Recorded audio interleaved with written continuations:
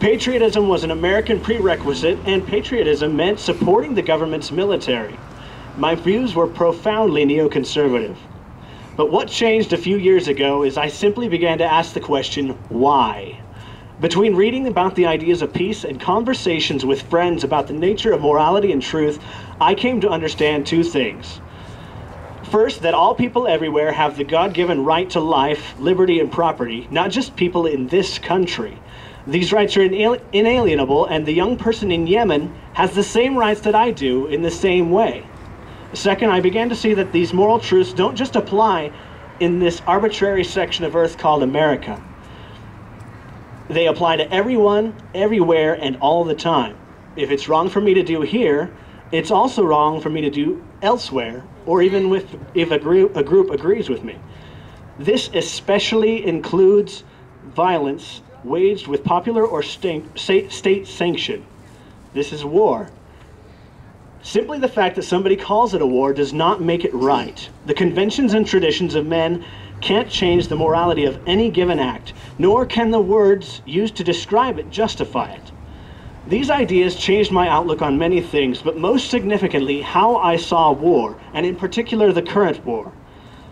Once I came to see that crucial point, um, I was willing to ask the question why. I was able to see what war really is. As General Smedley Butler said, war is a racket. I was actually able to see that when Jesus was saying, Blessed are the peacemakers, he meant it. It wasn't a comfortable truth, but the truth rarely is. As a Christian, I see things that Jesus said now, and I don't and don't understand why the church doesn't speak out against it more. It should be among the most prominent issues they talk about, but it's sadly quite the opposite today.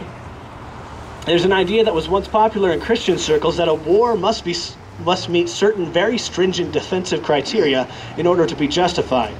And it's sad to see that the idea has been almost completely lost in many churches. In a time where I believe Christians should be standing to oppose war and all its tools, churches serve as recruiting posts for the American military Leviathan. This is in stark contrast to Christians of the early church who refused to serve in Rome's army, refused to be captured and conscripted for the Roman Empire. I hope to see this trend reversed. After my own personal change of heart, I came to I, I saw just how deeply rooted the ideas of war are entrenched in many minds. It's a cycle of fear in some cases, fed by propaganda from many willing sources. Fear is the message that the government wants to spread, and the media generally goes along with it for many reasons. Sometimes they don't want to lose their contacts in the government where the news begins. Sometimes they have an agenda and are willing participants. The war on terror requires a war on truth in order to keep people afraid of some boogeyman that we don't understand. This is a constant feature of war. And even back after the end of World War II, General Douglas MacArthur said, Always there has been some terrible evil at home or some monstrous foreign power that was going to gobble us up if we didn't blindly rally behind it. Fear and apathy feed the deception which keep people from seeing war for what it really is. It is a tool of political policy, and it is evil. It is one of the horrors inflicted on the world by the modern state, and it is the single greatest cause of the destruction of our liberties. War is where the rich of one country send the poor out to fight the poor of another country. Modern warfare holds innocent people hostage to politicians who care only for their own objectives. People are broken, injured, burned, destroyed, and cast out of their homes. And for what? to kill a few more suspected militants, people who are likely fighting Americans because Americans are fighting them in their own countries, empire creates terrorism, which then becomes its own excuse. It is a self self perpetuating feedback loop, and there's only one direction that it leads to death, poverty, and tyranny.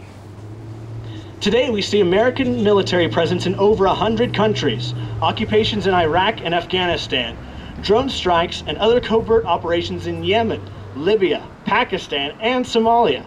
And on top of that, the powers that be are trying to get us to support invading Iran and now Syria. The US just sent several hundred troops and Patriot missiles to Turkey, supposedly to protect them from spillover violence into Syria. And now we see the US pushing support for the Syrian rebels, some of whom they have just labeled as a terrorist group. There is no end to the regime's lust for war. And why are these wars going on? We're told that we must wage an unending war on terror. We're told we must give up our liberty and our privacy for fear of men with turbans in the Middle East who hate us because we're prosperous and free. We're told we must destroy all the terrorists because of what they did to us on 9 11. But do they seriously expect us to believe the stories that the military industrial complex in, in influenced government want us to believe?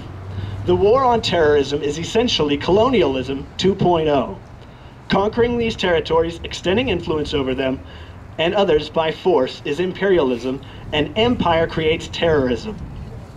It is said that war is the terrorism of the rich, and that terrorism is the war of the poor. We see this going on in Afghanistan today, a place that is known as the graveyard of empires. The Afghans don't see the US as a liberator, they see an occupying force in their land, acting with impunity. If people who live there think they are being occupied by a foreign enemy, it follows that they would attack that enemy, enemy and do what they could to drive them out. Something that many don't get is that occupation and war is a cycle. The more land you occupy, the more wars you wage, the more you will have people that live there fight back. Sadly, the number of reasons for them to fight are increasing. Recently, the Army Times wrote in an article entitled, Some Afghan Kids Aren't Bystanders about Marines in Afghanistan who thought they spied some shadowy figures planting an improvised explosive device, and they called it an airstrike. It turns out that the targets were in fact children aged 8, 10, and 12. Their family said that they were out gathering dung to fuel a fire. In the, Army, in the article, Army Lieutenant Colonel Marion Carrington said, in addition to looking for military aged males, we're looking for children with potential hostile intent. Does anyone here get the feeling that if this is what it's come to, we're fighting the wrong war? These children are not alone among the dead. The CIA is operating an extensive drone warfare program which is killing thousands of people in Yemen and especially Pakistan, where the number of civilians killed far outnumber those targeted. These deaths have caused wide backlash in Pakistan, putting the people there at odds with their government, which is on the American government's payroll for foreign aid. The war in Iraq has had the greatest human toll so far, estimated at at least 100,000 and upwards of a million people dead, with more displaced. On top of that is the now accepted practice, the assassination of American citizens by presidential decree without charge or trial. We saw this first in the killing of Anwar al-Awlaki in Yemen, and then his son, Abdul Rahman al-Awlaki, months later as he was at a backyard barbecue with his family and friends. Both were targeted and destroyed by separate drone strikes. Abdulrahman was born in Denver and never saw his 17th birthday. His only crime, according to, the, according to Obama campaign senior advisor Robert Gibbs, was that he should have had a more responsible father, as if that's something somebody can control. The human costs of this war are staggering, but that's not the only thing that's being destroyed. In the name of security, the American government has transformed itself into a complete police state, with every citizen under electronic surveillance of some kind. Dissidents are being intimidated into silence. The Fourth Amendment right to be free from search and seizure without due process is gone. The TSA routinely violates dignity and the person of people at the airports. The Patriot Act gives police the power to essentially write their own search warrants. And now, um, H.R. 347, signed by Barack Obama, gives government officials who find protests unfavorable in their areas the power to exclude them from federal, federal buildings or property. And now we have the 2012 NDAA, which also authorizes the indefinite detention of American citizens without charge or trial for any reason. The right of habeas corpus is gone. There was also a recent example of a former military veteran, Brandon Raub, who was accused of mental illness based on certain Facebook posts and held without charge for days before a judge ordered his release. The police state is here and it is not pretty. Hang on, let me get that page.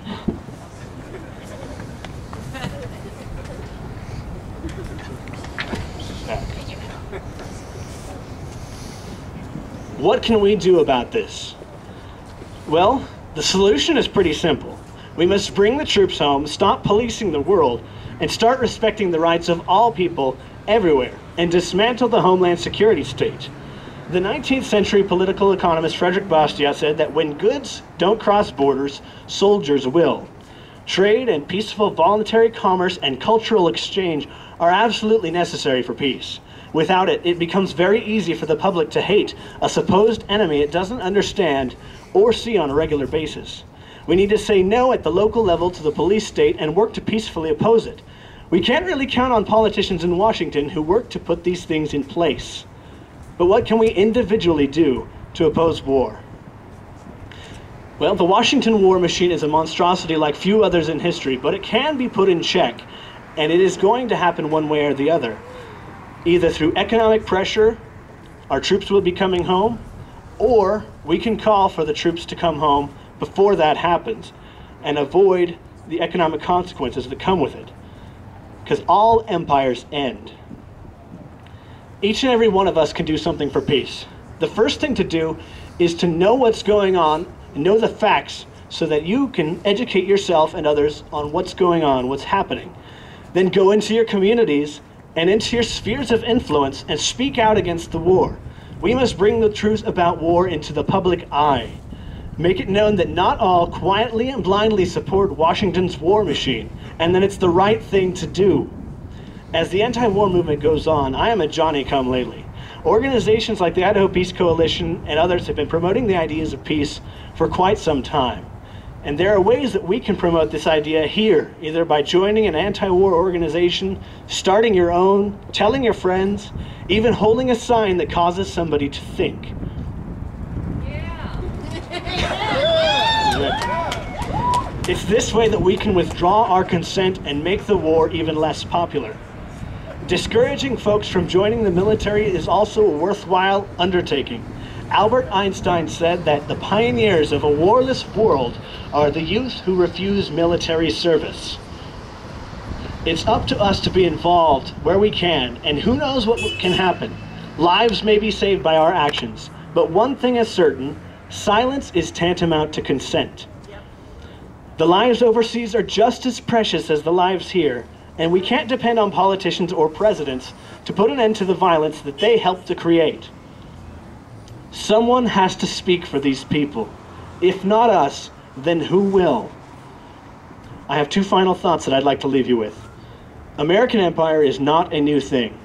Mark Twain was one of the prominent figures of the anti-imperialist league in the earliest, early 20th century, and he faced some of the exact same challenges that we do today.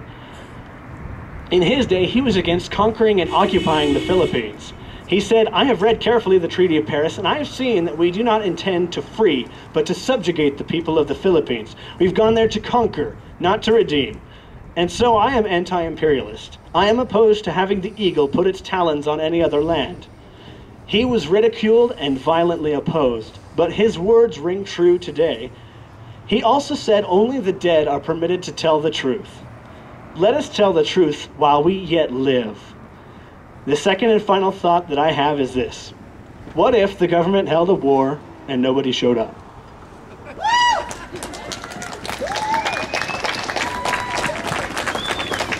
Dan Peterman. Next will be Dan Peterman. He's going to be giving a speech on behalf of Paul Smith, who's a military veteran that I had invited to come. Unfortunately, he had a conflict uh, scheduling and wasn't able to attend but I'm glad to have Dan here to give his speech.